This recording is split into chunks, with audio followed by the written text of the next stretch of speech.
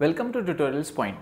In this video, we are going to take a look at one of the important events in Scrum, the sprint planning meeting. Before we go to sprint planning meeting, let us understand what is a sprint.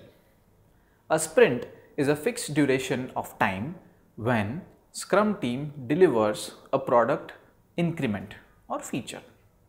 Now this sprint can be as small as 2 weeks or it can be as max as a month.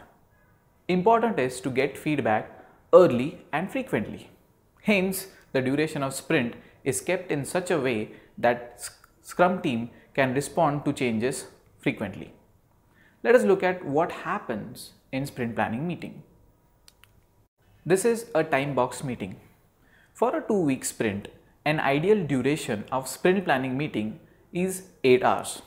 So, in these 8 hours, only planning work takes place. Next one, team selects and understands work to be done in a sprint. Now this involves having a conversation with the product owner about what will provide value, having a conversation among the team members about what is required to be done to achieve that particular value, and also polishing the user stories that are written in the product backlog.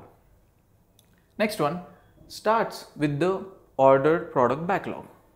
Now this is the responsibility of a product owner to have a ordered list of items in a product backlog and this should happen before the sprint planning meeting.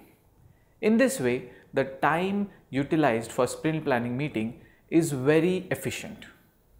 So, in a nutshell, Scrum team discusses what is to be done behind each item in the product backlog. This can be a developer, tester or analyst conversation, but it happens during the sprint planning meeting. Second one, get what is required to complete it. It might take few lines of code, it might take a lot of test cases to validate that particular work item, but the team decides unanimously in this meeting. No development work takes place during this meeting. This time is allocated just for planning. It is crucial that Scrum Master facilitates this meeting because the product owner will always think from a value aspect and development team members might think from the implementation aspect of it only. That is why, as they say, it is a team game.